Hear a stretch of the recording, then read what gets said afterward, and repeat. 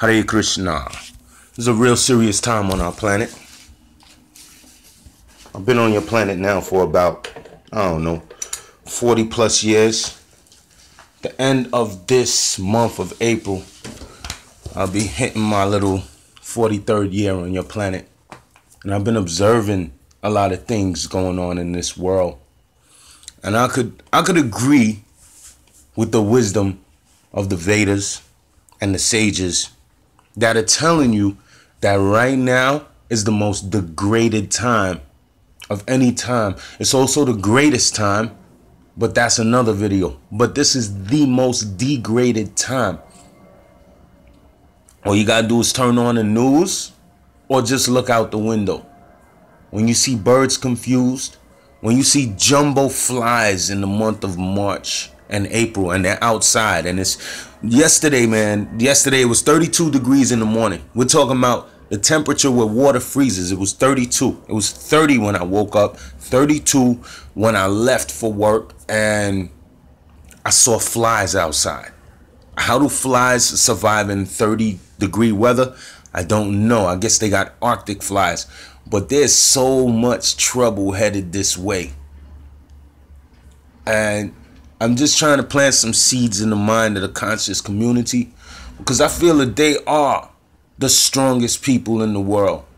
Once you put that people down in a pressure cooker, once you put them down in the dumps in the sewage and the sludge, I mean, just just look at the situation of black people on this planet, black body people, Moors, whatever you want to. There's a million names for the unnameable.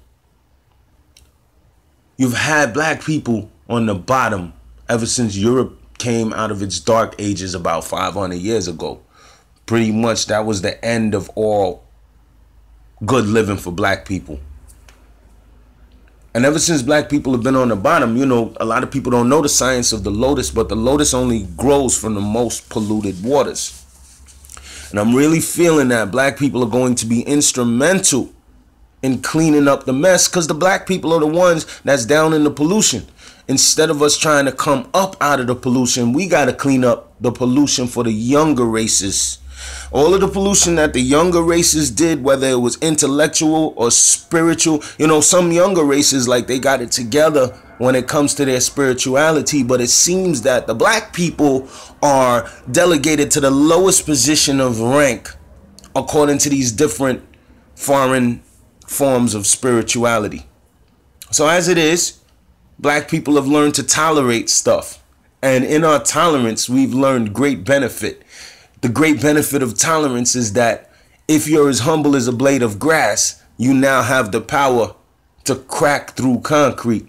But I, I don't want to reiterate that stuff. This is a real serious video that this planet really needs work. First of all, there's no intelligent leadership on this planet Earth. Donald Trump is not going to save you. Hillary is not going to save you and Bernie Sanders might not live long enough to save you. Um, listen, none of them can save you. They don't have the required intelligence. They are just well groomed dogs and cats who have good education and arist, arist, uh, aristotic, arist, uh, aristot, aristocracy, whatever. These aristocrats have their rank, but they don't have intelligence. They don't ban cow slaughter. You see in the borough of Queens, the cows are smart enough to keep breaking out, right? The cow is saying, I don't think that a, a sharp knife to my throat should be my demise. A cow is saying this. Cows are breaking out in Queens. Nobody's thinking about cow protection, but don't you know that this industry, this cow slaughter industry is destroying the planet? First of all, methane. When you herd up too much cows, you produce methane, and these are scared cows, so they're farting even more than a regular cow. And methane increases planetary temperatures. It takes what 400 gallons of water to make one friggin' hamburger. One hamburger that you ate at McDonald's just wasted 400 gallons of water, and you say, "Well, what's the problem with that? The ocean is full of water." Well, silly human, you don't drink salt water, you drink fresh water. And guess what's happening to your polar ice caps? They are melting. They're melting every day. We're running out of fresh water. Prabhupada did say that it would stop raining and there would be no grains. And because there's no grains, humans would start eating each other. Well, we already know in China, they're eating baby placentas, baby fetuses already. All right. You already got, when you eat tilapia fish, According to Bobby Hemmitt, tilapia fish has human genes in it. So all of you people think you're making healthy alternative choices by eating fish, you're still eating human genes. You're still a, you're a subtle cannibal. And once your body gets used to taking human genes, taking that next jump over to just eating a straight human's arm or guts will not be a, a, a, a far stretch anyway. So let's look at what you're doing when you're eating fish. First of all, let's look at pollution. I'm often in Far Rockaway and I be seeing these little kids littering I don't know what their parents are teaching them, but when you live four blocks from the ocean, nobody should be littering. Matter of fact, nobody should be littering on the planet at all. This is Mother Earth. This is Mother Lakshmi. This is the cow. We supposed to protect the Mother Earth. 5,000 years ago when they assaulted the dignity of the planet Earth, hundreds of millions of kings who had the potential to be the father of billions, if not trillions of people, they had to be wiped out. Krishna had the battle of Mahabharat to destroy the evil rulers in 3100 BC. BCE because they were idiots. They were attacking mother. They were attacking Draupadi, who is the mother cow, who was no normal woman. So now what we got on this planet? How is this cow and this this ocean and this land connected? Simple. All of this pollution that I'm telling people, yo, y'all gotta stop littering these plastic bags. First of all, a plastic bag takes 10 to 20 years to break down in the environment. 10 to 20 years, plastic bag. Aluminum can, 200 years. Plastic bottle, 450 years. Glass bottle, 2,000 years. This is what y'all are doing to your planet. I don't have to stay here forever because I'm not this body and I'm going to leave this body sooner or later. But what kind of world am I going to leave behind? What kind of man am I if I don't even try to stand up? I'm not asking for the power or the money of this world, which is all temporary phantasmagoria. I'm asking that while we here, let's live like you call yourself God. Call yourself God? Well, if you God, man, use some of your godly attributes. The first thing you need to do is protect your environment and your cows. All of these plastics are breaking down into the ocean. Scientists are looking for tons and trillions of tons of metric plastic and they're not finding it because it's breaking down to molecular sizes. So you now you say, I'm not to eat no beef. I ain't to eat no pork. I'm just to eat fish. Don't you know that the fish is already saturated with microplastic? The plankton out there in the ocean are eating plastic. They're thinking it's food. And then the fish are eating the plankton and bigger fish eat those fish. Yo, plastic is composed of mostly oil, petroleum, and you say, well, okay, oil comes from the earth. So what's the problem? Well, God damn it, then have an oil spill every day. Because you're not supposed to mix water and oil or different chemicals on the planet Earth just in a, in a capricious fashion in your body you have bile, you have mucus, you have acid, you have blood, you have water, and you have so many other liquids. They never mix. And if they mix, it's in a controlled way. You cannot keep destroying your environment. Listen, don't vote for none of these idiots. They're not talking the real deal. They're not talking, let's stop police brutality. Listen, even if you woke up today and started killing police, you're not changing the mentality of the higher ups. All they're going to do is hire more police who have the same or worse mentality. The police is not even your enemy. The police is the security guards who just happen to be white supremacists. They're idiots. They don't even know. Let me tell you something. When a person says I'm a white supremacist and I'm a I'm an Aryan if you don't know the meaning of the word Aryan or the mentality of a word Aryan, no, you're not an Aryan. You're a caveman. You become a caveman because only a caveman does not know the value of human life. Human life is very rare and very precious. And I'm just begging people, yo, stop polluting the planet. Yo, go out there and buy some land. You got so many so-called black leaders and they're talking all of this crap, but none of them are telling you to protect the cow. Meanwhile, everybody is worshiping Kemet. If you worship Kemet, you should be into cow protection. Het Heru, Het is house. Heru is Hari, or another name for Hari. Heru is that champion deity who is the son of Osiris. Heru is everything to the ancient Egyptians, but his abode, his shelter is Het Heru, the cow. Y'all gotta protect this cow. There's so many videos on YouTube that tell you about the virtues of cow and the virtues of cow milk And I'll just say real simply, right? For all you people out there hating on cow's milk, I support you. As long as you hating on commercial cow's milk. But if you've never been to a Hare Krishna farm, where there's a thing called a happy cow because a cow ain't stupid. A cow knows when you might be getting ready to kill it, or a cow knows when you took its baby away before the baby even got to suckle from its mother's breast. Y'all take this cow and put it in a box and turn it into veal parmesan. You goddamn stupid humans are supporting this slaughter industry, and the cow is now crying and she's now mourning. And then these scientists or these farmers come and hook up these things to her nipples, nipple pumps, and suck her mournful milk right out of her body. So in that mournful milk, you got pus, you got blood, and you got stress hormones. And you wonder why people are out there raping and killing and doing all kind of craziness just off a whim. No, we're being raised by we're a generation that's raised by poison milk. If you've never been to a Hare Krishna farm and had milk from a happy cow, then you need to shut up. Don't hate on milk. Because right now, right, if I buy a patch of land all I need is some flowers, some seeds, some bees, and one milking cow. When a cow dumps on the ground, already inside of her dung, there's something called Khepri. The seed for Khepri or the dung beetle is there. The dung beetles burrow under the cow's dung.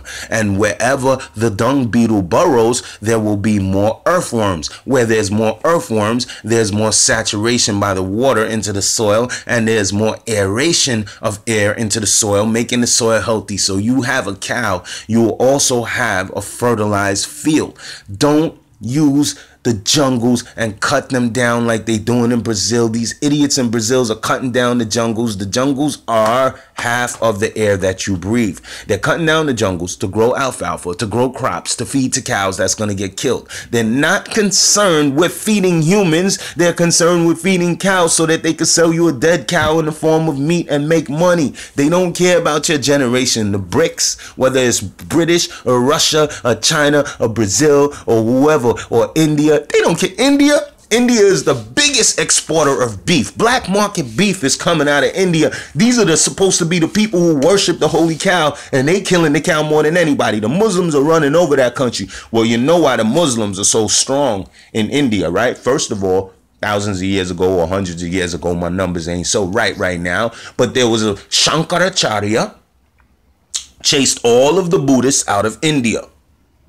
And in return, Hundreds of years later, or thousands of years later, the Buddhists sold India out to the Muslims. And that's why you got so many Muslims over there now. And Muslims, one Muslim man could marry four Hindu women and have 12 Muslim kids. So in a few years, India is going to be a Muslim country and cow slaughter is going to go crazy. Yo, cow slaughter has a serious impact on the environment from the fertilizer going into the water. Yo, yo, I, I just been doing a lot of studying and a lot of researching, and it just as a natural course. I'm, I'm just a curious person. Yo, this cow industry, they got stuff in the water that's turning the frogs into females, male frogs into females. And this stuff is in all of our drinking water. So you got plastic in your drinking water. You got hormones in your drinking water. You got fluoride, which clogs up your pineal gland. Yo, the world is messed up. If these so called leaders are not talking about fighting chemtrails and fighting environmental pollution, then I don't care about what they got to say. Trump doesn't bother me. He's a big orange. I'm going to cut him up and put him in a fruit salad. That's all he is to me. But I got to throw away the toupee because I don't, I don't like the taste of hair. Yeah, man. These are all fools and idiots making a mockery of the political process. And guess what, America? You're about to have a nice little nifty civil war on your hand because now you're going to mess with the gay rights. The gays are the new bullies on the planet Earth. And Mississippi and, and all of these southern states are now saying, now let's watch the legislation in these states. They're saying that a private business can deny or a state can deny services to someone based upon their sexual preferences. That's just a test because they want to bring slavery back. So all you got to do first deny one group their rights. If you're gay, you got to go in through the back door. You can't eat in this establishment. If you're gay, you can't get Medicaid, you can't get welfare. If you're gay, if they're successful with that, the next one is going to be black people. You know they they want to bring that Jim Crow back. Like Paul Mooney said, Black people are not welcome anywhere in white society because when they wrote the book of American history and slavery, we was not supposed to get out of slavery. We freed ourselves from slavery. Not, not no Abraham Lincoln. He did not free us from slavery. It was the Gullah Wars. G U L L A H, also known as the Seminole Wars. Look that up. We freed ourselves. America will never teach you that in their history books that we freed ourselves from slavery. So, where was that? I was talking about the colors and slavery. I'm trying to backtrack because there's so much stuff in my head right now, you know, and I'm gonna be mad. I'm gonna be like I missed a point and I was trying to drop a gem. But I think that you guys can pretty much sum up what's going on in this country. Civil wars on the horizon. They want to get slavery back. That's a fact because the economy is dropping. It's dropping precipitously and they cannot maintain it with their current standards. So the only way is through free human slave labor and they're weakening the black society more and more. All you conscious people out there, go buy some land, man. Get some land. Don't try to get these better jobs and a better position. Don't try to buy a record label. Don't try to buy a new BMW or a Mercedes Benz. With the money that one man gets with a Mercedes Benz, I can buy a couple of acres of land like I said, there's not a lot of trustworthy leaders in the black community right now that you could give your money to, and in any community for that matter. Everybody, you know, Srimad Bhagavatam says in the 12th canto that the world leaders in the last days will just become plunderers. And that's what we're dealing with right now. Everybody's plundering, plundering.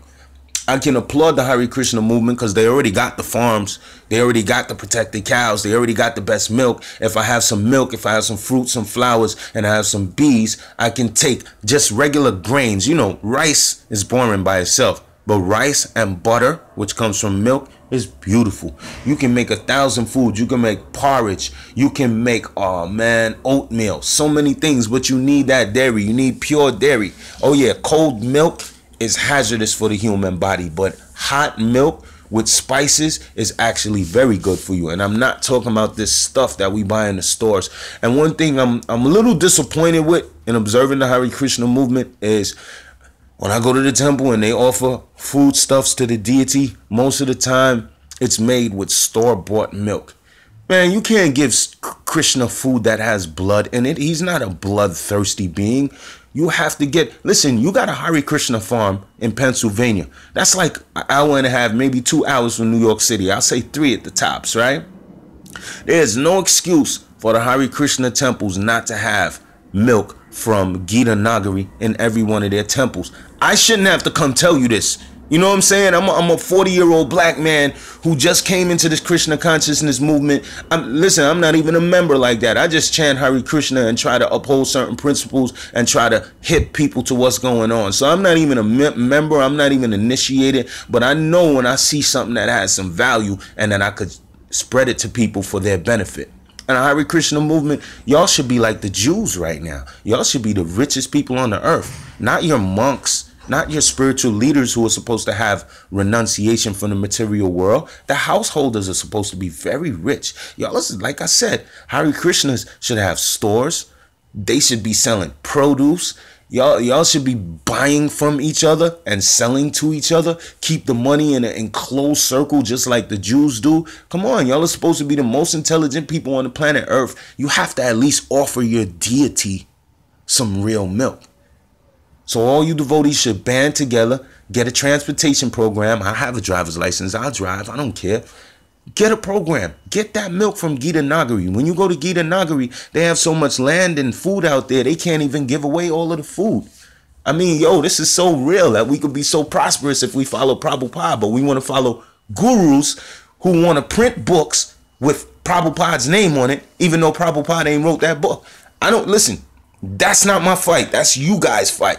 If you guys want to accept a bag of Bhagavad Gita that was rewritten, that's your business. I ain't knocking your guru. He probably had good intentions. But take Prabhupada's name off of that book because Prabhupada did not write that book and put his name on that book. And then we could say, all right, this is more fair. It's revised. It's made by such and such. Hare Krishna movement, if y'all going to save this world, you don't have a lot of time to go.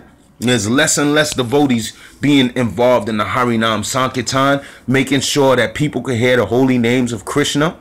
The holy names consisting of these 32 syllables Hare Krishna, Hare Krishna, Krishna Krishna, Hare Hare, Hare Rama, Hare Rama, Rama Rama, Hare Hare. Hare Krishnas, y'all should be out there teaching the people the science of Mother Earth and the milk and the cows and how we should have land and how we got to run away from these Illuminati leaders who are actually reptilians. And if you look at the movie They Live, I've been hipping the young generation on to They Live. Other day I watched They Live with my son. Warning, adult language. And he was like, he didn't want to watch the movie because, you know, I'm an old man compared to him. He didn't think that I know anything good because it's impossible. Somebody coming from my generation can't know anything good or fun. So I forced him to watch it, and then he wound up enjoying the movie a lot. You know what I'm saying? Watch They Live. It'll tell you that these world leaders are Rakshasas. They're here amongst us, shape-shifting reptilians. No, I'm not a conspiracy theorist. I was born in a goddamn conspiracy, so I could be a, I could be a theorist. You know what I'm saying? The year I was born, it's funny because the year I was born, homosexuality went from being a mental illness to fully accepted. And now it's going from a mental illness to being barred again in the state laws. And I'm telling you, it's going to cause a civil war because the homosexual community has a lot of power. And if you say anything against the homosexual community, you're going to have political implications. So I'm watching very closely what's going on with the southern states, and I wouldn't be surprised if in the future some of them try to secede from the, the union. And I support that. I, I, I want a civil war in this country. I want to see rivers of blood in this country because this country was built on blood. And ain't nothing sweet gonna change this country. This country needs to feel pain. 90% of the inhabitants were killed when the Europeans came over here and those inhabitants, according to the description of an Italian explorer, look more like Africans than anything. They had short hair, they wore their hair in a short tuft, they had woolly hair, they were stocky and looked just like Ethiopians. So pretty much when you see Native Native Americans with straight hair going like this, that's not the Native Americans that they was killing.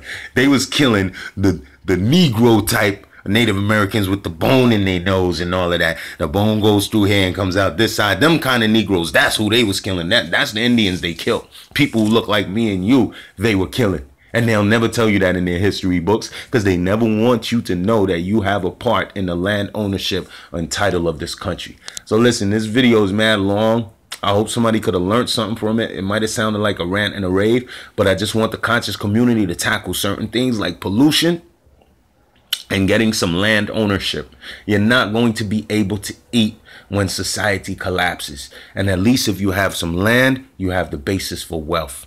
So I like to bless everybody and say Hare Krishna. Peace.